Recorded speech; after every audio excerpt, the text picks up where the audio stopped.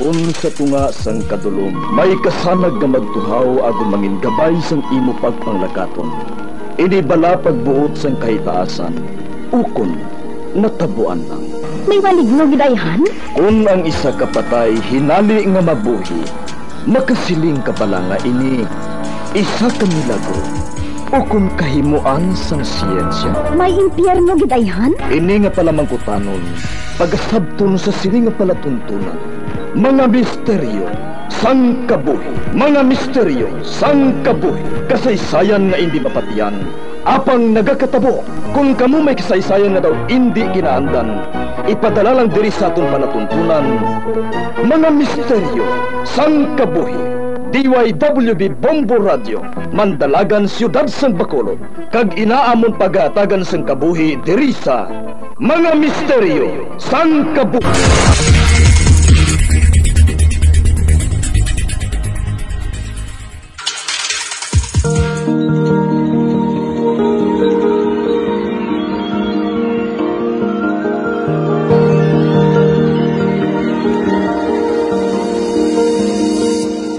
Kagkaroon sa kasagpon sa taon matahong nga sugilanon sa sa taon palatuntunan, mga misteryo sang kabuhi.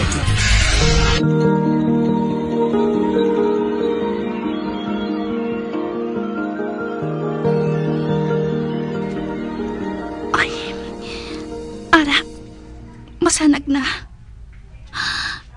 Diyos ko, ano ini? Kalain sa nasaksihan ko nga ini. Ang basement?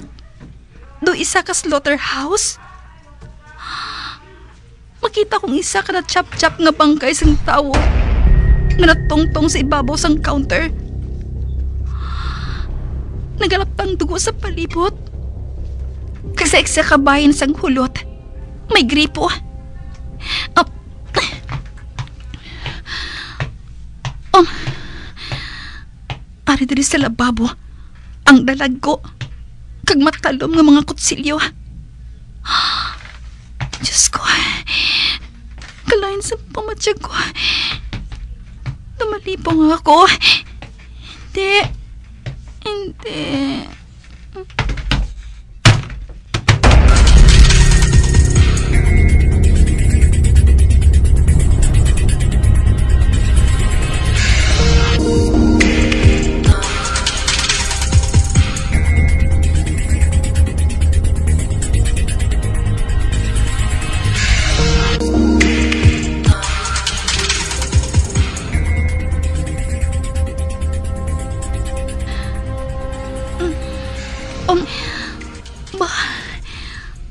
Ari gihapon ako diri sa basement. Nadulaan ako sa pangalibutan sa sobrang kahadlok. Mabangon ako. Um, ba, kung ano nakita ko kaina, amo man gihapon ang makita ko subong. Ba, ang parata nga ginsudlan ko kaina, Sirado na? Apang wala ko yung naging sira ka, ina. Masaka ako. Buksan ko, ina.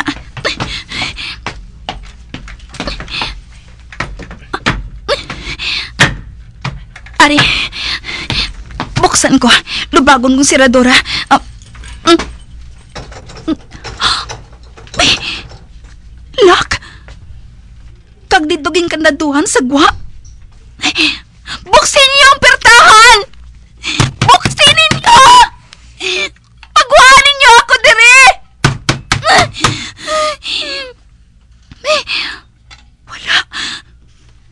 Wala sa may nakabati sa akon.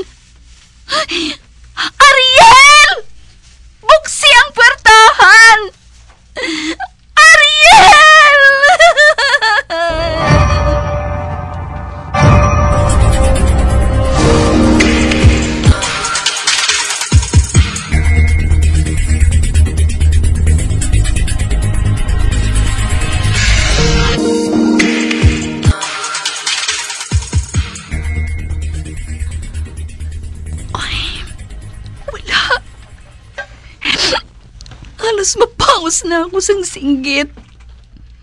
Apang wala gid si nagpalapit. agad pagwaon ako diri.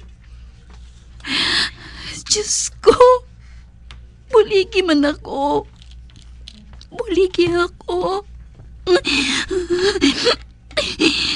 Nagakurog ang akong tuhod sa kahadlok. Mapungko ako sa hagtanan. Kita matumba ako. Nahadlok ako magtulog sa counter.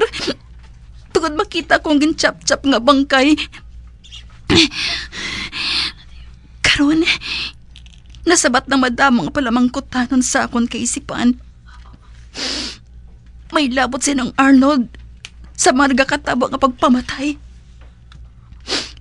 Apang natingalahan ko.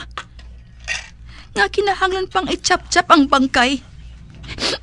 Nga ah?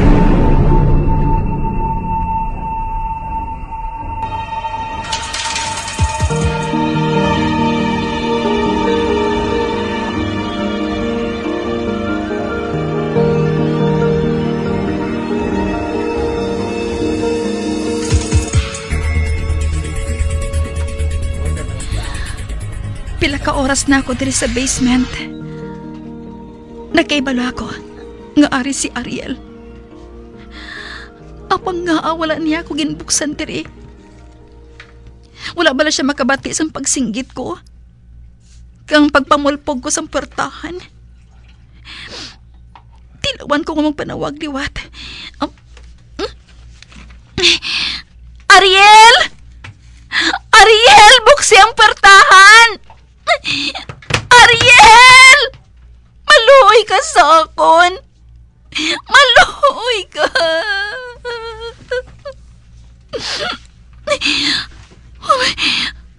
Wala. Wala sa may nagbukas sa puwertahan. Ano na lang matabos sa akon dire?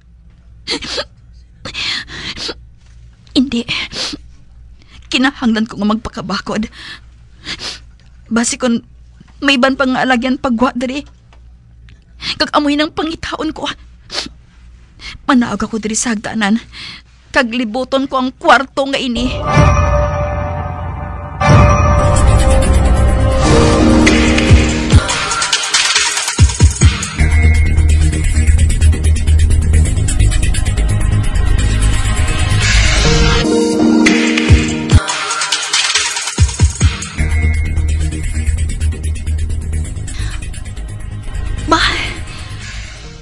Kwarto diri nga wala sa kwartahan. May isa ka dako nga plastic nga drum. Kag wala ko makaibalo kung anong unod sina. Kag sa kilid, may ako nga nagahilera nga sako. Kada sandig sa dingding. Kag pulos may unod. Amoy ng palapitan ko.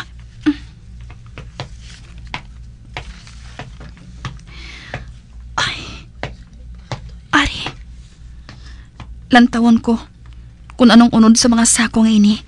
Mm. Diyos ko! Mga kalabera!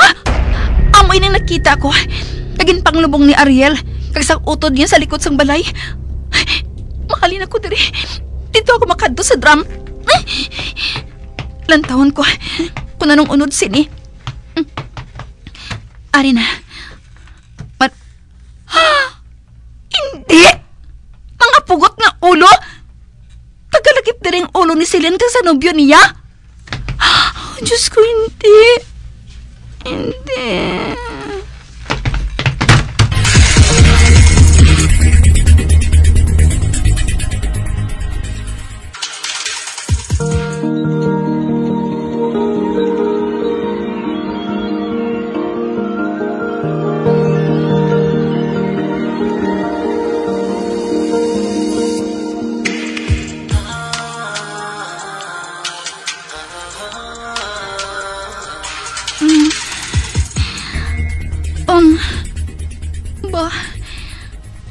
Ari gihapon ako diri sa basement. Kag-ari ako sa tupad sang drum. Nga may mga pugot nga ulo. Karon, nasabat ang misteryo sa pagadulan ni Celine kang sa nobyo niya. Matuod ang akong pagpati nga wala sila makahalin diri sa balay. Apang wala ako magkunahuna nga patay na sila. Kag mga nadula ang kahadlo kag ginabatyag ko. Ginbus lang ni isang kaakig sakay kung sinuman nga nagpatay sa ila. Wala ko sa nadumduman nga nakabuhat sila sang sala para pamatyon. Kag ka brutal sa pagpatay sa ila. Nagapanaminhod ang bilog kong alawas. Tagundam ko lang ini subong. Gusto ko na nga makapugtao. Apang arya ko sa realidad. Pakalmahon kong kaugalingon ko. Wala sang iban nga nagpatay sa ila. Kundi ang mga tao nga naga-estar diri sa balay. Nadumduman ko. Sa itong maging pasurod ang mag-utod nga nasurod sa black bag. Kag ina, among lalaki nga ara sa ibabaw sang counter. Kag nadumduman ko. Nagunagwa si Ariel. Kag nagpabilin diri si Arnold. Kag karon ko na patod. Si Arnold, among manug-ihaw sang pamilya. Siyang nag-ihaw. Kagusto. Hinali ko na dumduman ang pagkahuyog nila sa pagkaon sang kani. Hindi ayhan. Posible ina. Tugod nga abi kinahanglan pa nga kandadtuhan ng pertahan. Kalayan sa pamatsya ko. Ito nagalaway ako sang hinali.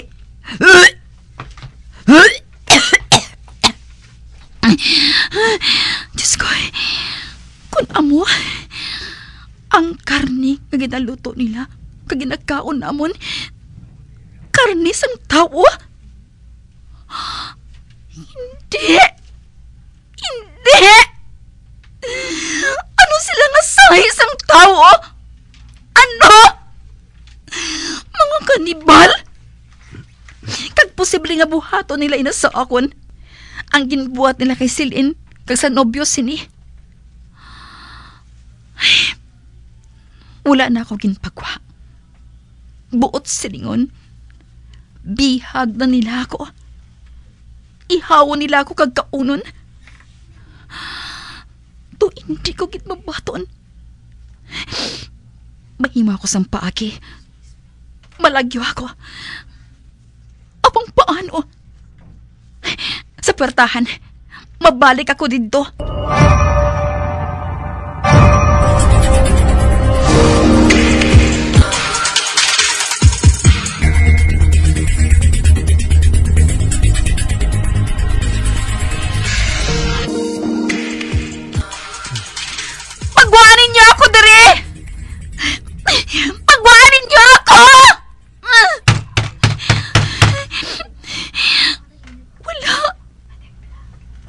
gid si nagapalapit.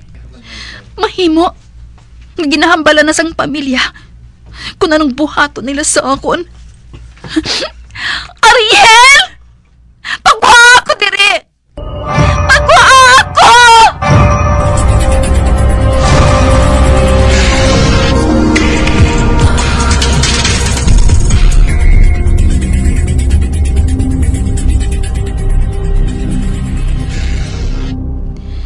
Natulugan ako sang singgit. Kabag pamulpog diri sa pertahan. Apang wala gid si may nagbukas. Kung hindi ako magsala, aga na ini. Om, may nagabukas ang pertahan. Si Ariel. Ariel, salamat. Nangin pangahas ka, Mira.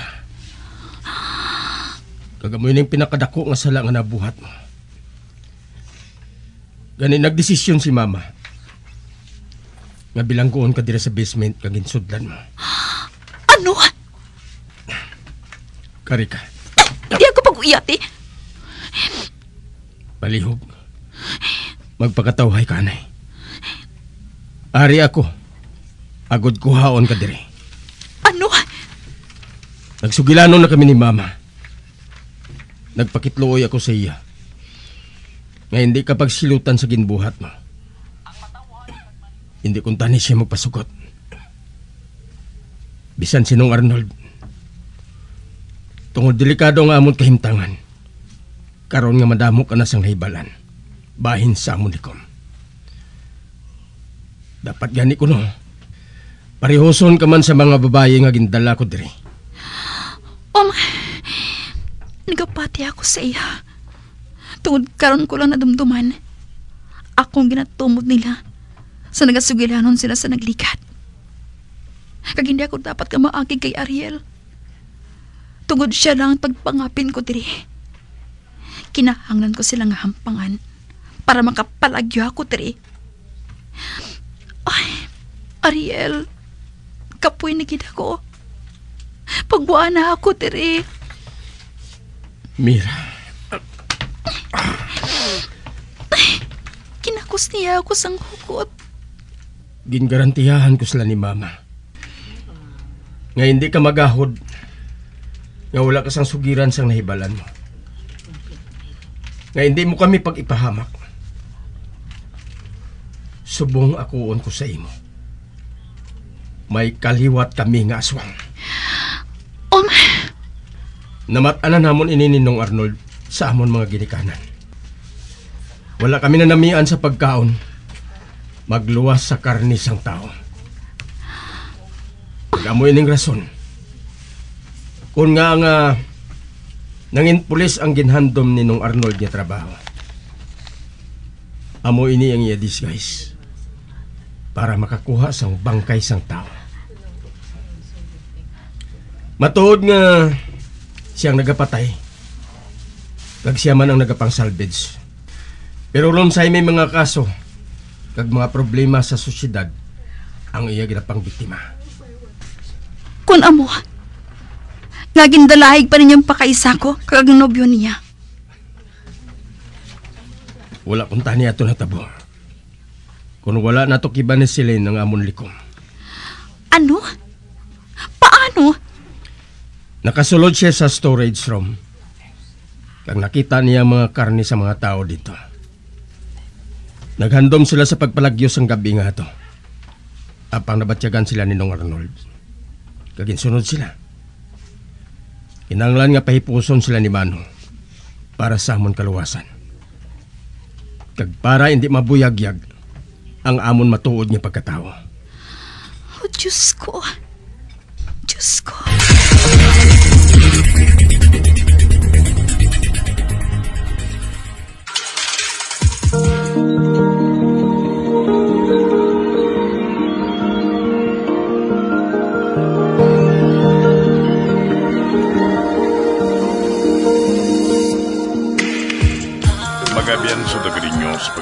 Ang batahong magsugpon sa itong sugilanon kaysa itong palatuntunan.